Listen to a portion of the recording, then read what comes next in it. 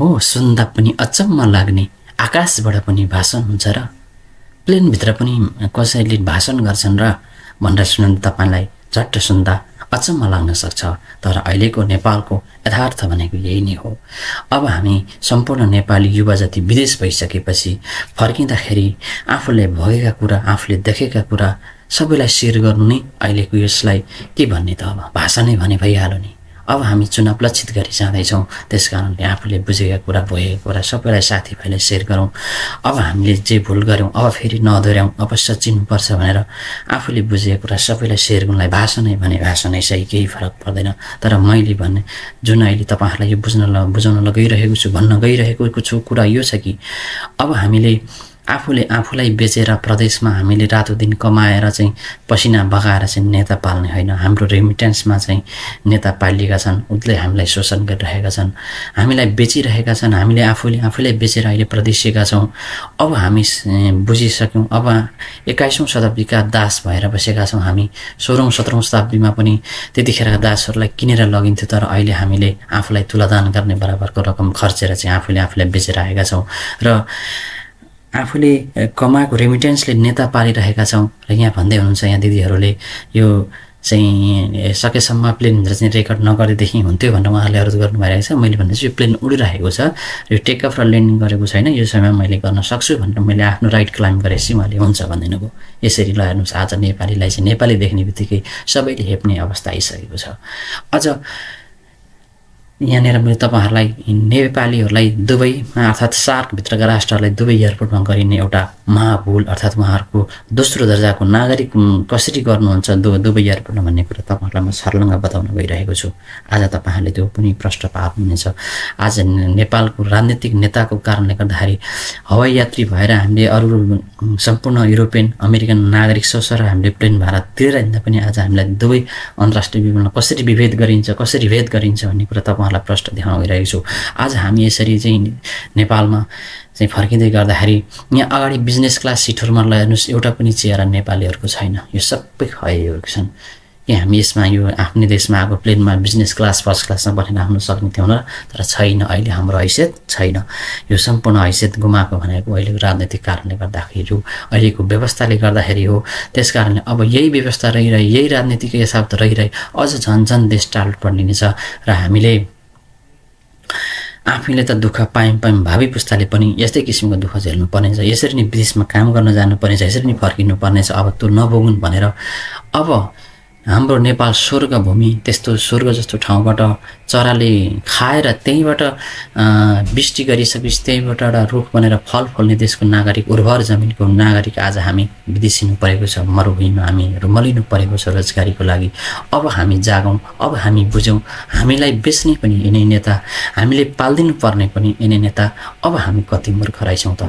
अब हामीले जसरी हुन्छ राम्रो देशको विकास गर्न सक्ने भ्रष्टाचारमा तले नहुने अहिलेको भ्रष्टाचार नै अहिलेको प्रमुख नीतिगत भ्रष्टाचार नै अहिले नेपालको विचा विसा विकासको चाहिँ बाधाको भनेर हामी प्रष्ट भइसकेका छौँ।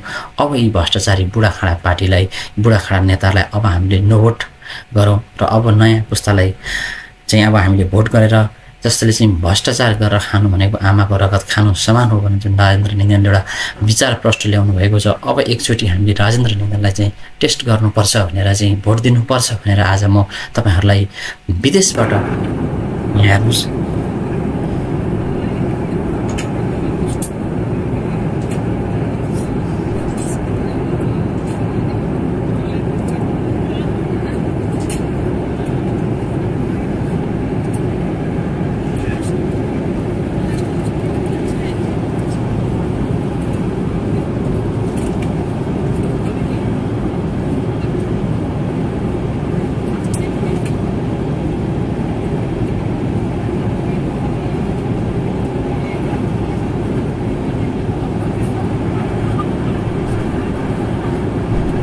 विदेशबाट स्वदेश फर्केको छु। अहिले ल हेर्नुहोस् यो म तपाईँहरूलाई दुबईको दुबईमा अन्तर्राष्ट्रिय विमानस्थलमा टर्मिनल नम्बर एक टर्मिनल दुई टर्मिनल नम्बर तिन। त्यो टर्मिनलमा बा ल्यान्ड गराएर साउथ एसियाका प्यासेन्जरहरूलाई सडक नदी टर्मिनल फोरमा लगिन्छ। र यो टर्मिनलको गति अवस्था हेर्नुहोस्। त्यसमा चाहिँ यो अहिले तपाईँलाई यहाँ प्यासेन्जरको अनुहार पनि देखाउँछु म। सबै साउथ एसियाका मात्र हुन्छन् यहाँ ट्रान्जिट हुने। यसरी भेद विभेद गरिन्छ कि अहिले गरिब राष्ट्रको लागि चाहिँ प्यासेन्जरलाई पनि त्यति नै पैसा तिरेर हिँड्दा पनि समानजनक व्यवहार छैन। यसरी चाहिँ यस्तो थर्ड क्लास टर्मिनल बिल्डिङमा लगेर टोयलेट पनि फोहोर नफोहोर पानी त्यो साउदीमा हज गर्न जाने पाकिस्तानी इन्डियनहरूले चाहिँ नुहाउने धाउने गरेर टोयलेटमा गइसक्ने अवस्था छैन यो टर्मिनल नम्बर बिल्डिङ फोरमा।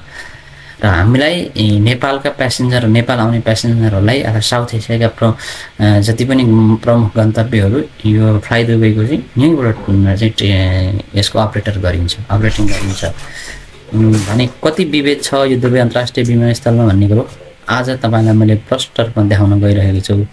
यो टर्मिनल फोरको बिल्डिङ हो। यसमा जति पनि फ्लाइटहरू अपरेटिङ हुन्छ मैले अहिले पनि भनिसकेँ सम्पूर्ण साउथ एसियालाई टार्गेट गरेर हुन्छ र यहाँको प्यासेन्जरहरू पनि सब साउथ एसियनहरू हुन्छन्। र यस कारणले अब हामी जाग्ने बेला भइसक्यो।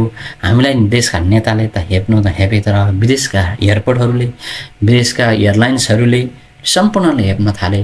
अब हामी आफूले जानी जानी एउटा नेताको पछि लागेर एउटा नेताको झोला बोकेर पछि लागेर चाहिँ हाम्रो अस्तित्व स्वाभिमानै बेच्दा बेचिसक्दा पनि अब हामी तैचुप मैचुप भनेर बस्नु हुँदैन। अब हामी जाग्नुपर्छ भनेर चाहिँ अब हामी युवाहरू नै जाग्नुपर्छ। त्यस कारणले आज म यसरी नेपालमा फर्किँदै गर्दाखेरि आफूले भएका गन्तव्यका जुन गतिविधिहरू तपाईँहरूलाई समेट्ने प्रयास गरिरहेको छु त्यस कारणले पनि म के भन्न चाहन्छु भने अहिलेको अब वर्तमान परिस्थितिबाट अब हामीले नेपालको चाहिँ नेपालको विकास किन भएन भन्दाखेरि नेपालको विकास नहुनु भनेको नेतृत्व गर्ने देशको नेतृत्व गर्ने पार्टी नेतृत्व गर्ने नेताहरू नै नीतिगत भ्रष्टाचारमा गएर उहाँहरू डुब्नुभयो। नीतिगत भ्रष्टाचारमा लाग्नुभयो। त्यस कारणले अहिले देशको विकास हुन सकेन। वाइट बडी काण्ड सुन काण्ड क्यान्टनमेन्ट काण्ड अहिले एनएसएल काण्ड अर्बौँ अर्ब काण्डहरू झ्याम झ्याम्ती बजाइदिएर चाहिँ उहाँहरूले दुबईको यत्र यत्र जहाजहरू भइसक्यो त्यति नेपालभन्दा पछाडि स्थापना भएको दुबई इन्टरस्ट्रियल एयरलाइन्स हो सायद इमिरेट एयरलाइन्स अहिले हेर्नुहोस् अवस्था कहाँ पुग्यो। यहाँ हेर्नुहोस् यसमा अहिले यहाँ तपाईँले झलक्क देखि पनि सक्नु भएको त्यस कारणले देशको विकास गर्नु भनेको हाम्रै आफैले गर्नुपर्छ। अरू कुनै चन्द्रमाबाट अथवा मङ्गल ग्रहबाट अरू कुनै थर्ड पर्सन गरेर आइँदैन। हामीले आफैबाट सक्षम नेतृत्व चुन्नुपर्छ। त्यस कारणले अब विकासको लागि भ्रष्टाचार नगर्ने कसम खाएको यस्ता सङ्कल्प लिएका व्यक्तिलाई एकचोटि हामीले प्राथमिकता दिउँ। यस्तोलाई अब हामीले गरौँ। हाम्रो धर्म संस्कृति जोगाउँ। ल हेर्नुहोस्। आफ्नो देश विकास गर्न धर्म संस्कृति भाषा वेशभूषा बेच्नुपर्छ भन्ने त्यो छैन। अहिले त हामीले आफ्ना गणतन्त्रको लागि भनेर हामीले धर्म बेचेका छौँ। हामीले आफ्नो संस्कृति बेचेका छौँ। तर इजरायल यस्तो देश हो इमिरेट यस्तो देश हो उसले आफ्नो धर्म संस्कृति सबै जगेडा गरेर पनि देशको विकास गरिरहेको छ। त्यस कारणले यो अरूले जे जे भन्छ त्यही त्यही हामी पछि लागेर धर्म संस्कृति बेचेर नि देशको विकास हुन्छ भन्नेतिर कोही पनि नलाग्नु होला। देशको परिवर्तन गर्नको लागि लिक्वान किलाई एउटा सिङ्गापुरलाई कस्तो बनाएर देखाइदिए? मोहम्मद महाफिरले एउटा दुबईलाई कस्तो के अरे सरी मलेसियालाई कस्तो बनाएर देखाइदिए? होइन? त्यस्तै अब हाम्रो नेपालमा पनि राजेन्द्र लिङ्गदेन अर्थात् कुनै थर्ड पर्सनले आएर चाहिँ नेपाल एउटा एक वर्ष दुई एक शासन दुई शासन चाहिँ राम्रो चाहिँ स्वच्छ ढङ्गले भ्रष्टाचार नित भएर भ्रष्टाचार नगरिकन एउटा नीतिगत भ्रष्टाचारमा नलाइकन उहाँले चोखो र एकदम देश विकासप्रति उहाँले जुन अठोट लिनुभएको छ त्यही किसिमले काम गरिदिनु भयो भने हाम्रो देश बनिहाल्छ नि। हामी अहिले यसरी विदेशमा घुम्न जानुपर्ने देशका नागरिकहरू त्यस्तो सबै स्रोत साधनले भरिपूर्ण हरियाली पानी जलस्रोतको देश हिमाल भएको देश पर्यटनहरू भरि भराव आउनुपर्ने हाम्रा देशका मान्छेहरू हामी घुम्न जानुपर्ने। तर उल्टो भइरहेको छ यहाँ। त्यस्तो सोच साधनले भरिपूर्णका देशका जनता चाहिँ हामी। कामको खोजीमा रुममा लिएका छौँ यस्तो मरुभूमिमा आएर त मरुभूमिका मान्छे चाहिँ अरूलाई उनीहरू चाहिँ घुम्न गइरहेको छन् हाम्रो देश चाहिँ। त्यस कारणले अब हामी जाग्नुपर्छ अब हामी सचिनुपर्छ। मैले तपाईँहरूलाई यो भिडियो बनाउनुको प्रमुख उद्देश्य भनेको यही नै हो। एयरपोर्टमा जुन किसिमको भेदभाव देखेँ त्यो पनि बनाएँ र जुन यो प्लेनभित्र नेपाली दाजुभाइ दिदीबहिनीहरू हुनुहुन्थ्यो उहाँहरूलाई पनि आफूले बुझेका भोगेका कुराहरू मैले प्रस्तुत गरेँ ताकि अब हामी सचिनुपर्छ हामीले गल्ती गऱ्यौँ। अब राजनीतिक अवस्थामा चाहिँ अहिले नेपालको चाहिँ सार्वभौम सत्तामाथि जस्तो किसिमको बाहिरी हस्तक्षेप भएको छ। अहिले योभन्दा पूर्वका सांसदहरूले चाहिँ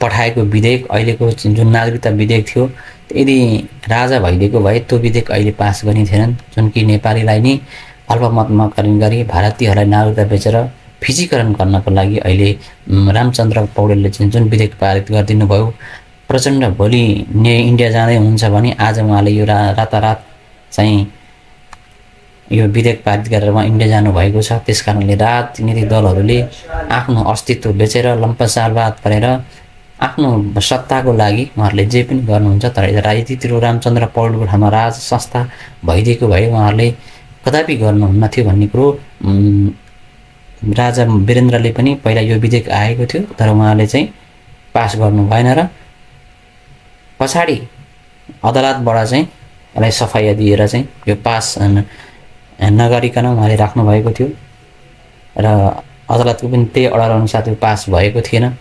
अहिले पछाडि गणतन्त्र आइसकेपछि अब नेपालीहरूलाई चाहिँ अल्पमतमा पार्ने र विदेशीलाई बहुमतमा गरेर यो चाहिँ फिजीकरण गर्ने भारतको रणनीति अनुसार अहिले प्रचण्ड र हाम्रो रामचन्द्र पौडेलजीले जुन घात गर्नुभएको छ यसको असर भविष्यमा नेपाललाई पर्नेछ तपाईँहरूले अहिले बुझ्नु अहिले बुझ्नेले धेरैले बुझ्नु भएको छ तर नेपालमा बिग्रेको चाहिँ के छ भने बुझी बुझी पनि यो गणतन्त्र ल्याउने धर्मनिरपेक्ष ल्याउने यिनै काङ्ग्रेस एमाले माओवादी हुन् भनेर भन्दा पनि तिनीहरूको पछि पछि सत्ताको लागि जागिरको लागि लोभको लागि भ्रष्टाचारको लागि सम्पूर्ण बुझेर पनि चुप मैचुप भएर हिँड्नु भएको छ। जुन दिन तपाईँहरूको र टोपी खसेर चाहिँ भुइँया टिप्न जाँदाखेरि जुन दिन तपाईँहरू छ झलास हुनुहुन्छ त्यतिखेर तपाईँहरूको हातबाट उम्किसकेको हुन्छ भन्ने मैले सन्देश दिन चाहन्छु। हवस् त धन्यवाद। हाम्रो एभरेस्ट पोस्ट एचडी हेर्दै गर्नुहोला। नमस्ते दर्शकबिन यहाँहरूलाई एभरेस्ट पोस्ट एचडीमा हार्दिक स्वागत छ। हाम्रो यस्तै राम्रो फरक फरक भिडियो हेर्नलाई हाम्रो एभरेस्ट पोस्ट एचडीलाई सब्सक्राइब गर्नुहोस्। साथै नजिकै भएको नोटिफिकेसन बेललाई पनि दबाउनुहोस् ताकि हामीले भिडियो अपलोड गर्न साथ यसको नोटिफिकेसन तपाईँलाई जानेछ र तपाईँले हाम्रो भिडियो सुरुमा हेर्न पाउनुहुनेछ। एभरेस्ट पोस्ट एचडीलाई सब्सक्राइब गर्नुहोस् र म फेरि पनि भन्न चाहन्छु सब्सक्राइब अवश्य गर्नुहोला। है त। हवस् त। धन्यवाद।